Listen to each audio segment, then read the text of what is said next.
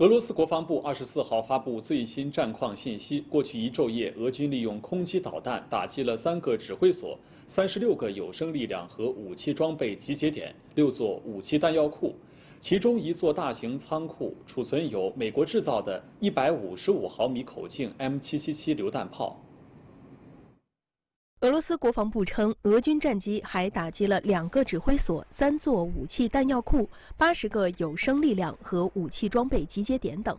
俄国防部当天公布了“天王星六”机器人工兵帮助顿涅茨克武装在马里乌波尔清除地雷的视频。目前，该市正在逐步恢复正常生活，但部分地区仍然处于危险状态。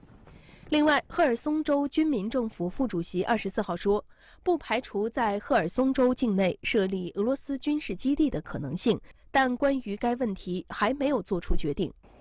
乌克兰武装部队总参谋部二十三号在社交媒体发布消息称，乌军在西部利沃夫州与俄空降部队发生战斗，乌军在战斗中击毁俄军第七十六空降突击师的两辆战车。乌克兰国防部发言人莫图兹亚尼克同一天表示，俄军正在试图建立对顿涅茨克、卢甘斯克和科尔松地区的完全控制。乌克兰真理报二十四号报道称，乌克兰国防部情报局局长布达诺夫表示，目前认为俄乌冲突的转折点将在二零二二年八月，届时乌克兰将获得足够多的重型武器。而俄罗斯联邦安全会议秘书帕特鲁舍夫同一天在接受《论据与事实报》采访时表示，俄罗斯特别军事行动的所有由总统指定的目标都会实现，没有别的可能。